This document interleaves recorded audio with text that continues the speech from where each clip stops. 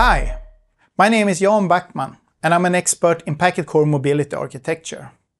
In my daily work, I work with end-to-end -end characteristics, for instance, edge computing and quality of service. In this video today, we're going to explore quality of service and why applications need quality of service in the mobile networks. What are the needs of the applications and what kind of characteristics is it that will drive this? What if it was possible for an application to decide the quality of service need on a per flow basis? What if it was possible for an application to require the quality of service on demand when needed? What if it was possible for an application to always have a good application experience, for instance when running a Teams meeting or playing a game? Quality of service has always, since the start, been an essential part of mobile broadband. But the only success that we have had so far is the VoLTE service. And this is because this is an integrated end-to-end -end solution. Mobile broadband is great, but it's not working well for all use cases. Mobile broadband is quite different from fiber.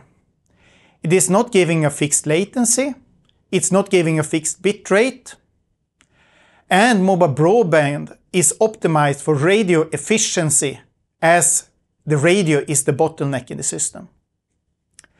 The best thing with mobile broadband, however, is that you can bring it with you. In this video, we're going to dig into the quality of service details. One important aspect is the data size and another one is the reception of the data. If we look at the size, it may be adaptive like the resolution in a video, or it may be fixed, like an operating system upgrade. If we look at the delivery, it might be immediate, like the voice transfer when you have a voice call, or it may be buffered, like the next or upcoming songs in your Spotify list. The combinations of these creates four performance classes that defines four different types of characteristics. And if we add a bitrate and a delay to these characteristics, we have defined a performance level. The first of these performance classes is the adaptive buffered. This is what realizes the mobile broadband of today, and it gives a high latency and a high bandwidth, but it is there to optimize for buffered video that is dominating the networks of today. The second performance class is the fixed immediate. This is quite similar to fiber access and is used for interactive services with a fixed bitrate.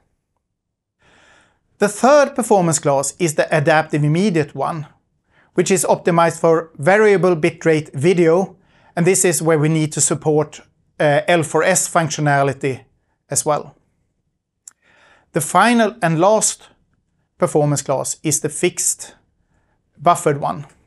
This is where we fit in file transfers of operating systems or whatever it may be that you want to transfer. To support quality of service in the smartphones, we need to have a mapping to the performance classes in the operating systems.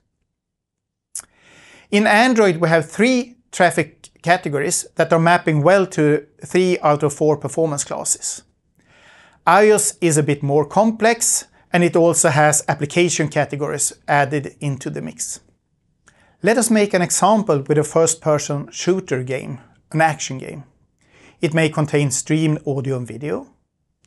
You have the action and the moves that are made by the players. You may have replays of audio and video from the previous level. And you do a login to the game server, you have the scoreboards, etc. And there you have actually a solution that maps to all of the performance classes.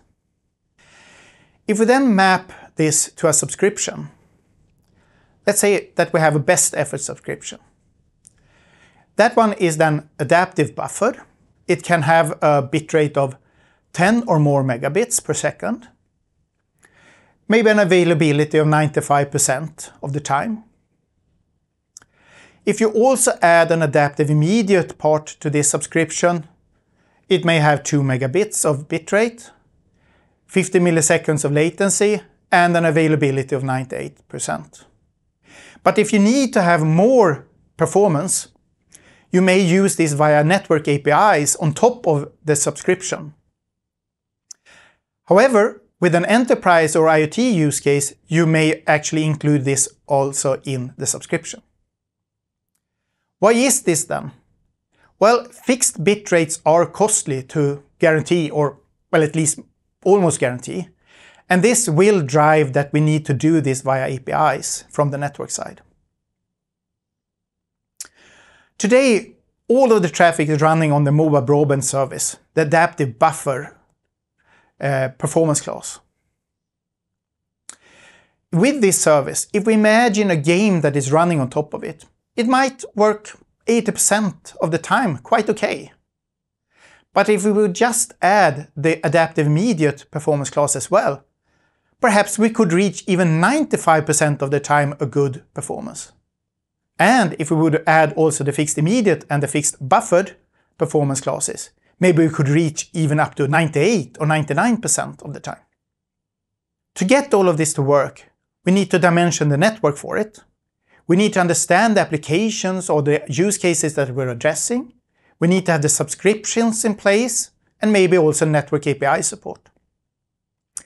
The application developer needs to think about whether they should have support for all performance classes, or maybe only some of them, or maybe only one.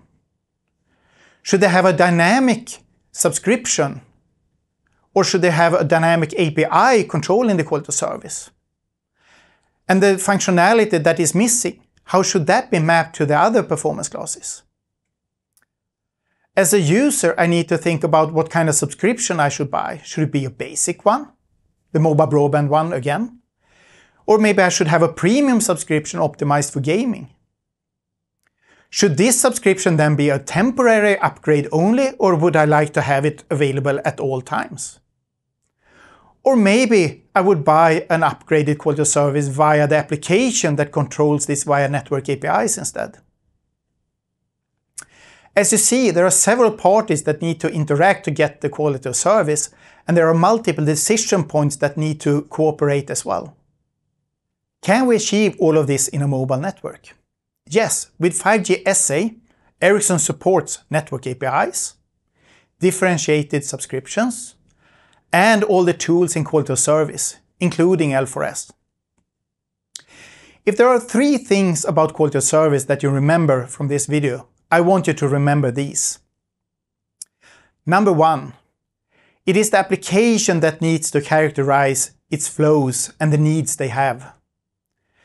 And they need to bind that to the quality of service APIs in the operating system. Number two, applications need to have support for quality of service, either in subscriptions or they need to use network APIs to get the support from the network. Number three, Quality of service only works when it has end-to-end -end support.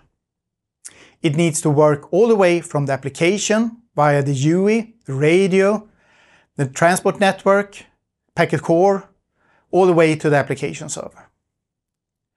Application ecosystems are end-to-end -end, and they need to include quality of service.